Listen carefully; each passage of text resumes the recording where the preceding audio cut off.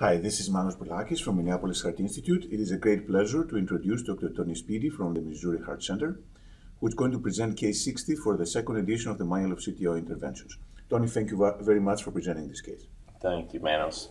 Now, this first case is actually a relatively young patient who had uh, persistent angina, uh, had an old bypass surgery, and uh, an abnormal stress test with a large area of ischemia.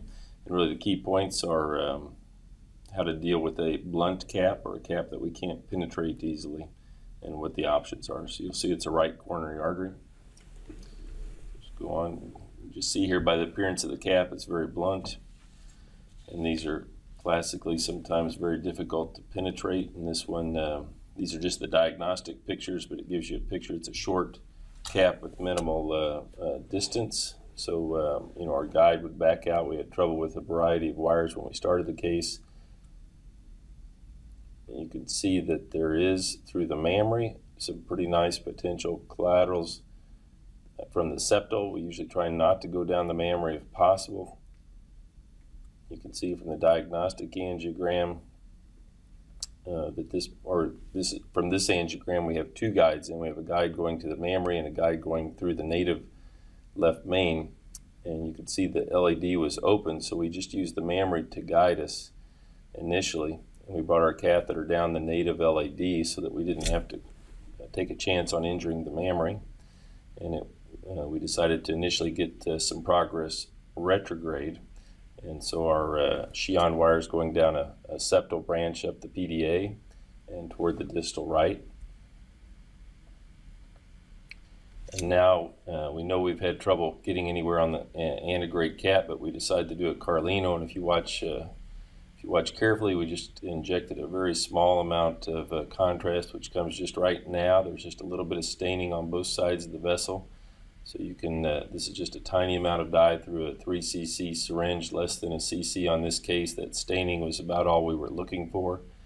And that dramatically changed the uh, proximal cap. So next, uh, we bring down a pilot 200 wire uh, you can see our retrograde wire is going up the uh, distal right and setting an RV marginal just uh, uh, comfortably there.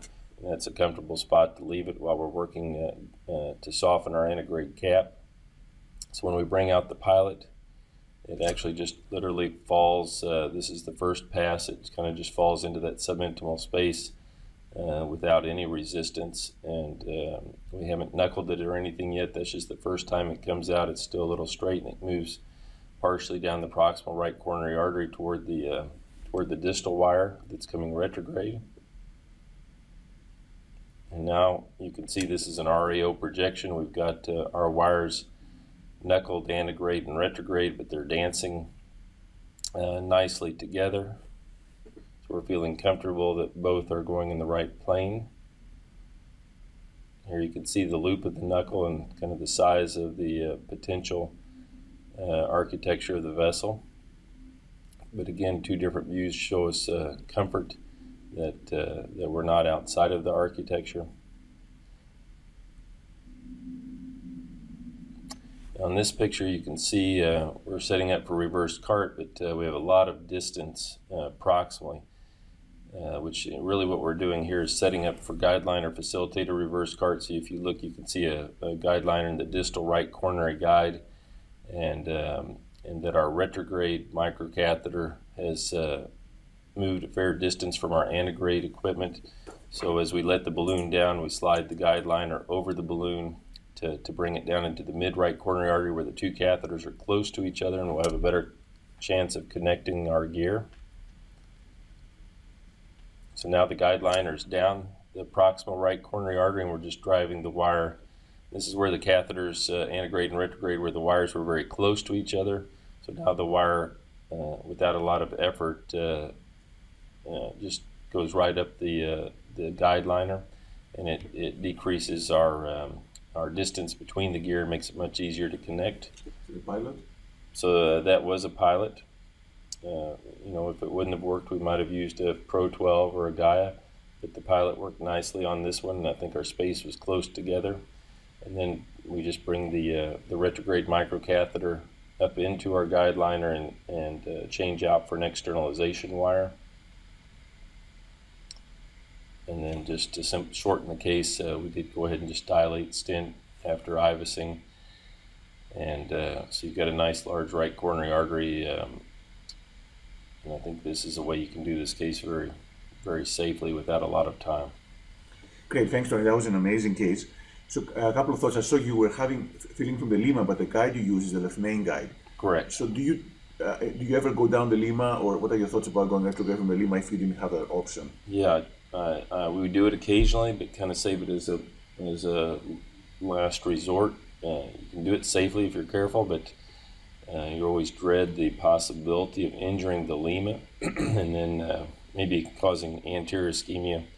Uh, so we try to avoid that if possible. And it's kind of nice when there is the option, at least, to go down the native vessel. We just use the lima to to guide us because when we injected the native vessel in this case, the lima was filling that distal LAD, and you couldn't see it if you just injected the native vessel. You couldn't see any of the collaterals or where you were going. So it did help to um, have two guides initially in the left system. And once we got around, we took the lima guide out and used that femoral access for uh, access to the right coronary artery, to the CTO.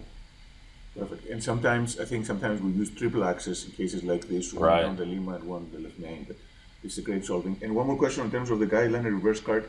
Do you typically use eight French um, guideliners for this? Or So it depends, but yeah, the eight French is probably the most ideal because it gives you the largest uh, area to shoot for retrograde, so it, it can can simplify your case. Uh, occasionally, the eight French, you know, because of its profile, is harder to get down, especially if you've got a calcified or tortuous vessel. So sometimes we will use a six or a seven. Um, but the, the most ideal, especially if you have a large vessel, is the larger guideline or the eight French. thanks again for a wonderful case. You bet. Thank you.